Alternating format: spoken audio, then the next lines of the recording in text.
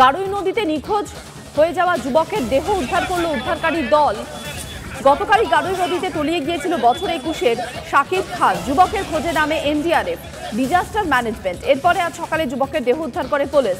স্থানীয় বাসিন্দাদের ক্ষোভের মুখে আসানসোল পুরসভা। গারুই নদীতে তলিয়ে যাওয়া যুবকের দেহ উদ্ধার। সরাসরি চলে যাব আমাদের প্রতিনিধি ব্রজ রয়েছেন আমার সঙ্গে এই মুহূর্তে।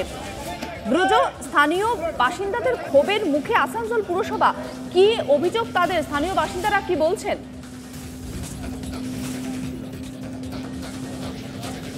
দেখো, একেবারেই ক্ষুব্ধ। রীতিমতো গারুই নদীতে আবারও একজনের প্রাণ গেল। কিছুক্ষণ আগেই কিছুক্ষণ আগেই সেই যুবকের, নিখোঁজ যুবকের মৃতদেহ উদ্ধার করেছে উদ্ধারকারী দল।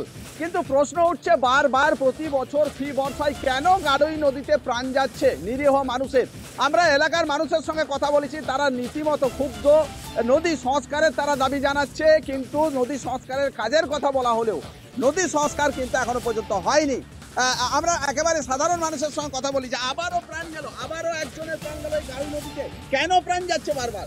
দেখুন, আজকে যদি আসানসোল কর্পোরেশন পৌরসভা যদি সঠিক কাজ করতে পারত, তাহলে আজকে এই যে আমাদের এলাকার একটা যে জওয়ান নাম আদিল, সে আজকে ওর মৃত্যু আমরা আমরা পেতম নাই, ওর ডেড বডি আমরা পেতম নাই। কেন? কালকে যখন দশটা বেজে পঁয়তাল্লিশ মিনিটে সকালবেলায় যখন আপনি দেখবেন, যখন বাচ্চা ছেলে জলের মধ্যে কোথায় চলে গেছে কিন্তু একুশ ঘণ্টার পর আজকে সকাল আটটা নগদ কর্পোরেশনের টিম এসছে।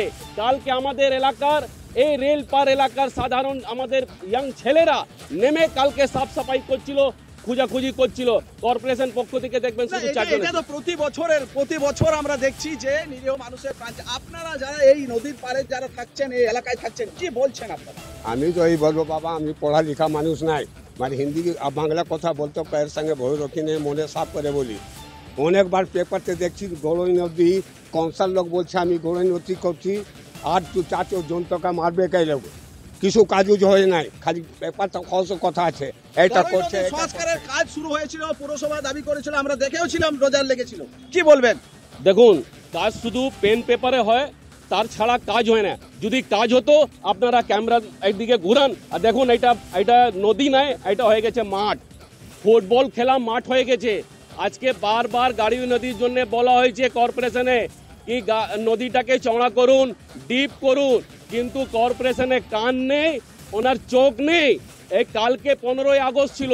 কালকে আমরা জানি ছুটি দিন ছিল, কিন্তু মেয়র সাহেব সকালবেলা বারোটা পর তো হয়তো ফ্রি হয়েছিলেন, এখানকার মন্ত্রী ফ্রি হয়েছিলেন, মলয় ঘটক মহাশয়।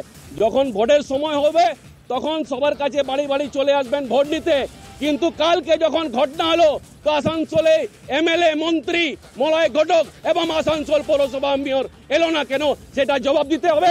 আর একটা কথা এখানে অনেক প্রচুর মানুষ এখানে রয়েছে। আমরা আমরা একটু কথা বলার চেষ্টা করি কারোর সঙ্গে যারা বাংলায় কথা বলতে পারে। যে এই যে এইভাবে যে যাচ্ছে প্রতিদিন আহ, জীবন যাচ্ছে প্রায় এক কাজটা বরাবর হচ্ছে। আবার একটু অসুবিধা হচ্ছে, যখন ছেলে যায়, জলে ডুবে যায়, এখন এগার কালকে দশটা পঁয়তাল্লিশ মিনিটে কালকে ছেলে ডুবেছে, কিন্তু এখন আধ ঘণ্টা পরে এসেছে কর্পোরেশনের লোক, ও ই করতে, পুরস্কার করতে। কেন এরকম? কেন ব্যাপার? আর এটা কাজটা তো করতে হবে। হ্যাঁ বছরে বছরে বারিশের সময় আসে সবাই জানে বারিশের সময় আসে। একেবারে এক সাধারণ মানুষ চাইছে যেভাবে মৃত্যু ফান গাড়ুই নদী তার সংস্কার হোক এবং এই শহরের সৌন্দর্য ফেরাতে পারে একটা সৌন্দর্যের যে মাত্রা না থাকে স্বাভাবিকভাবে ক্ষোভে ফুসছে এই মুহূর্তে গারুই নদীতে তলিয়ে যাওয়া যুবকের দেহ উদ্ধারের পর এলাকাবাসী। আপাতত ধন্যবাদ ব্রজ তোমায়।